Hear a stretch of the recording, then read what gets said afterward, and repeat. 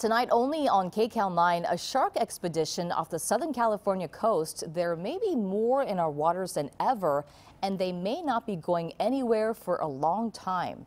Now, this is usually the time of year when great white sharks swim south into Mexico's warmer waters. Yeah, but thanks to our record breaking heat, the ocean hasn't completely cooled down. So the sharks are sticking around, it seems. KCAL 9's Stacy Butler spoke with an expert about what's going on.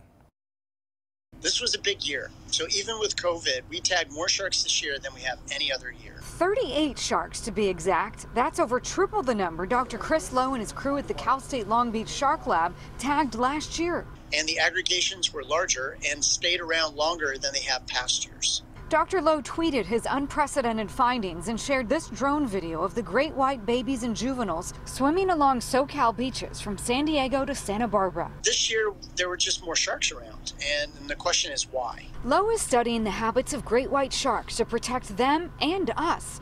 But with social distancing and limited lab time, he's had to send fewer staff out to tag the sharks. He's amazed they found so many sharks that are still swimming in Southern California waters. Normally, in our fall, when our water temperature gets to the low 60s, that seems to be a cue that drives them to migrate south to Baja.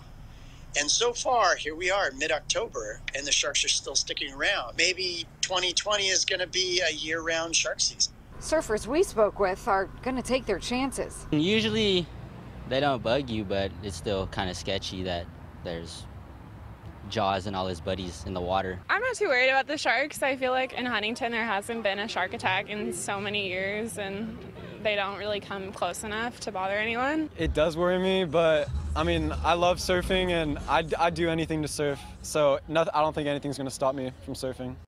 Dr. Lowe has 120 underwater listening stations from San Luis Obispo to San Diego. The idea is to track sharks, figure out where they're going and why, and to create an early warning system so that lifeguards can warn those in the water. In Huntington Beach, Stacy Butler, KCAL 9 News.